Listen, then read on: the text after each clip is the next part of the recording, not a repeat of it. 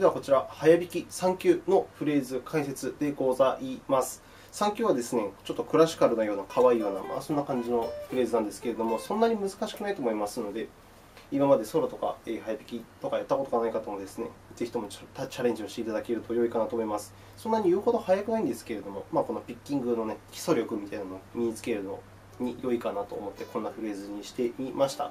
ぜひトライしてみてください。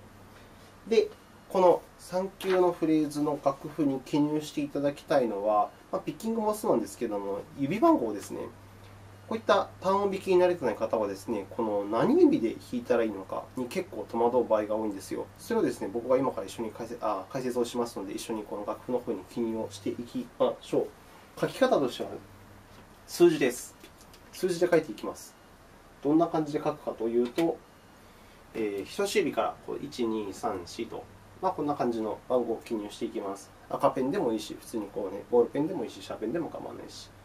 ピアノの場合は、親指から1、2、3、4、5といくんですけれども、ギターの場合はあんまり親指使わないので、親指は T っていうちょっと特殊な書き方をして、人差し指から1、2、3、4と、まあ、こんな感じで記入をしていきます。それぞれ楽譜のですね、フレットの下にその、まあ、何かしら数字を書いていっていただけると良いかなと。まあ、最初だったらこんな感じになるじゃないですか。この下のところですね。ここにまあ、1から、人差し指から始まるんだったら、1、2、4、1、1みたいな感じでやっていくと良いかなと。えー、慣れてきたら、これだけでももう自然とわかると思いますし、なかなか慣れない方は、えー、きっちりと縫い指番号を一つ一つメモしていただけると嬉しいなと。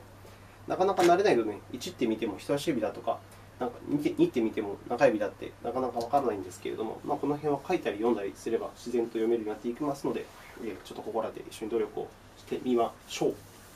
えー、それでは、早速解説の方に入りたく存じます。まずですね、ちょっといい。一番最初の2弦12フレットは人差し指からスタートしましょう。1番指ですね。1、2、4といきます。1、2、4で、1、1。1、2、4、1、1。で、この3弦12フレットはできるだけスタッカート目にやっていただけると嬉しいです。音を短く切るということですね。長く伸ばすんじゃなくて、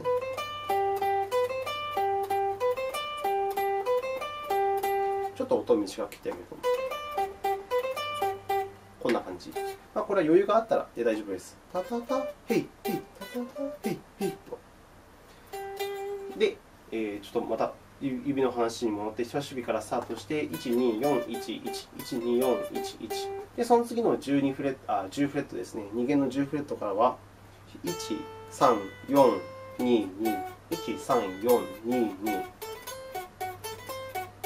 で、この3弦11フレットも同じようにスタッカートをすると。スタッカートの書き方は上に点を書きます。えー、例えば12、13、15。12、12と、タタタン、タンタン、タタタン、タンタンというフレーズがあったとしたら、ここら辺に適当に、まあ、こう点を書くと、あ、これは違うか。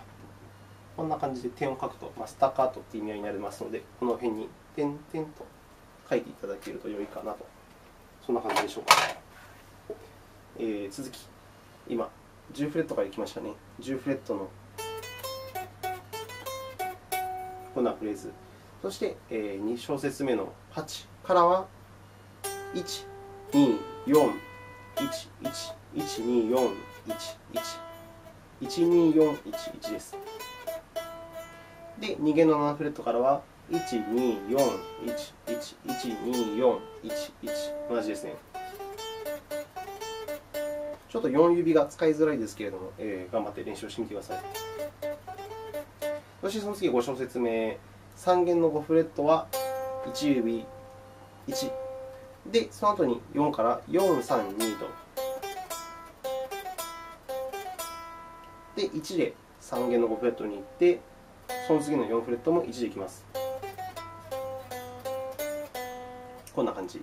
1、4、3、1、1、1、1、2、4、1と。で、その次の小節、5小節目、6小節目か。人差し指で1、3、1、2、3、2、2こんな感じです。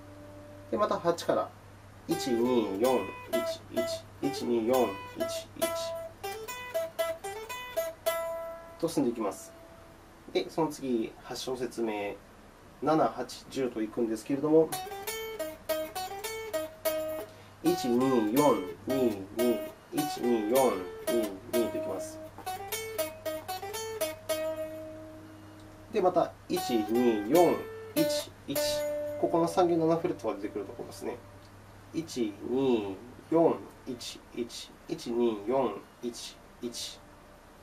で、その次は、1、3、4、2、2、1、3、4、2、2。これです。ちょっとバーッと駆け足であの喋っちゃってますけれども、ごめんなさい、あの聞き取れなかったら、ちょっと巻き戻しをして確認していただけると嬉しいです。で、先ほども言いましたけれども、慣れてくれば、あの頭のところだけ書いておけば、あとは分かって分かったりとかするので、えー、全部書かなくても良いかと思います。えー、どのくらいの量、えー、記入するかは、ちょっと皆さんにお任せします。全部きっちり書きたい方は書いてもいいし、まあ、部分的に書いてもいいと思いますし。で、その次2ページ目。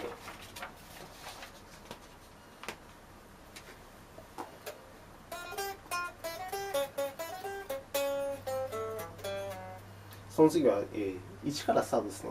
1、3、3、1、1。13311で43あ421だ。133112421でここの小説に来ました。で2指で4弦の5フレットを弾いてちょっと大変なんですけれども2弦の8フレットを小指でいくと。4指で43144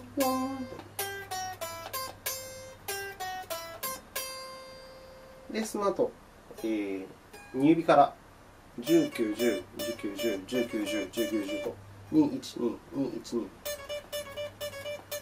で、スタートの12フレット、11フレットも同じように、14フレットも同じように、で、15。2指で弾いたら、ちょっと待って、まあ、こんな感じのフレーズになるんですけれども、2で弾いたら、2弦の15フレットは3指で、で、2指で13フレットを弾いて、2弦の12フレットを弾いて、中指で13フレットをハンマリングします。で、プリングをして、3弦14フレットを3指。で、3弦11フレットを人差し指で弾いて、中指で3弦12フレットを弾くと。で、そのまま2、2、1で終わる。そんな感じです。で、ごめんなさい。ちょっとハマリング、プリングなんて急に言ってしまいましたけれども、ここのところ、一番最後から 2, 2つ目のフレーズ小説ですね。2弦の12フレットから始まるところ、ここはですね、ハマリング、プリングをちょっと記入しておいてください。15フレットをパッと弾いたら、ちょっとしばらく置いて、パトゥトゥタリラトゥタホトタッタトゥタリラトゥトよいしょというまあこんな感じでここに3連符があるんですけれどもこの12フレットを弾いたら、えー、13フレットにハンマリング叩きつける動作ですねハンマリングをして13フレットから12フレットに、えー、プリング引っかく動作ですねをするとえこれを2からスタートして引く。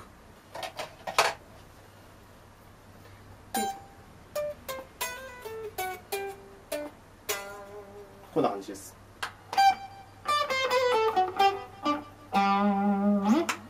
そんな甘いです。まあ、ちょっとだだだと指番号の話をしていきましたけれども、これは別にあの100%これが正解というわけではないので、えもっとご自身でやりやすい運指が見つけやりやすい運指が見つかったらそちらで大丈夫です。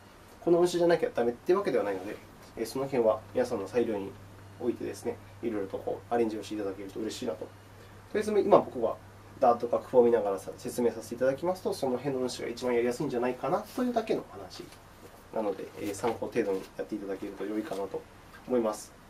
えーまあ、一応僕もそのお手本動画みたいなのをアップしてますので、まあ、この動画の頭のところにありましたよね。こちらでですね、えー僕の運指とか確認していただけるといろいろ参考になる部分があるかなと思います。そんな感じでしょうか。えー、テンポ120、ちょっと早めですけれども、そんなにたくさん連符が出てこないので、えー頑張って習得をしていただけると嬉しいなと思います。頑張ってください。Yes!